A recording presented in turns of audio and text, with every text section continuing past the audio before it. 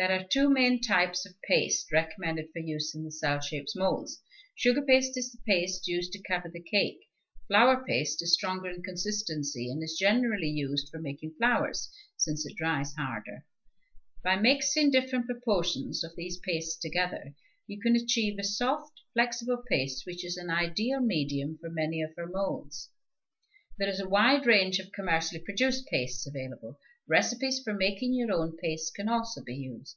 The proportions suggested may need to be varied depending on the characteristics of the brands of paste that you're using. Rest the mold face down on a piece of non-slip material so the cavity is uppermost. Do not put any vegetable fat or corn flour into the mold since this would prevent the paste from molding correctly but rub a small amount of vegetable fat on both forefingers. Take a sausage of paste and place it across the cavity. Press and stretch the paste so that it fills all the channels in the mold. Use just enough to fill the cavity. If the excess is too great, remove the paste and start again using a smaller piece. Smooth the surface before removing the excess with a scraper.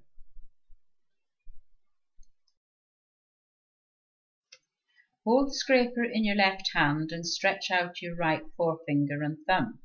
Rest the straight edge of the scraper on your bent middle finger. Place your thumb on top of the scraper towards the back, your forefinger at the front corner so that the scraper is well supported. Insert the fine edge of the scraper into the paste, then reduce the angle so it is held as flat as possible when removing the excess paste. Rub a little vegetable fat onto the tips of your index fingers. Pressure needs to be applied to the paste with your finger in order to stop the paste from being pushed out of the mold. Notice how the color of your finger end changes as you increase the pressure. Place your finger across the center of the paste and press firmly. Insert the scraper, reduce the angle, and then slide the scraper towards your finger.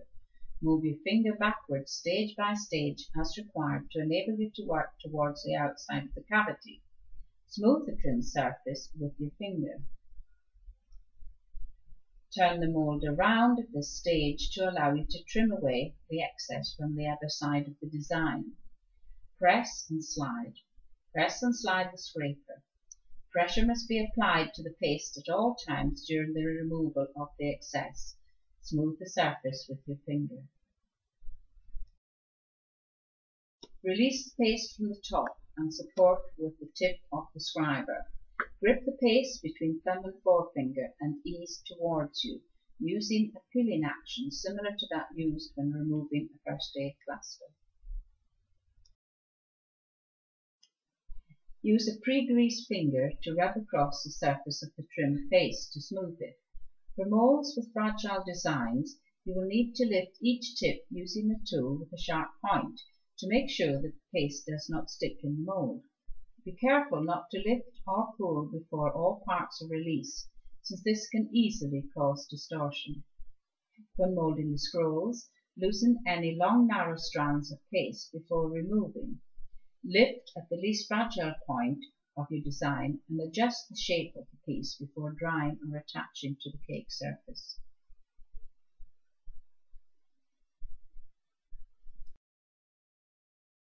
Lifting and pulling before correctly releasing the paste from the cavity can cause stretching and breakage. Releasing the paste, then pulling in an upward position will distort the shape of the molded piece. You should lift the paste at the edge before using both hands to gently peel it from the cavity. Keep the paste low over the mold, easing smoothly and gently back towards you to achieve the best results. As you trim away the excess, if the paste drags and creates a hole in the moulding, do not panic and remove the broken piece. Press the paste back down into the mold. Apply a small amount of extra paste to fill the gap. Blend and smooth the paste to achieve a bond. Lightly grease your fingers where necessary. Press firmly and use the scraper to remove any excess.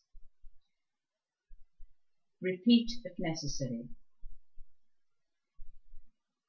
then rub to smooth and neaten the surface. As you can see, now the lattice length has no breaks, it has been successfully repaired.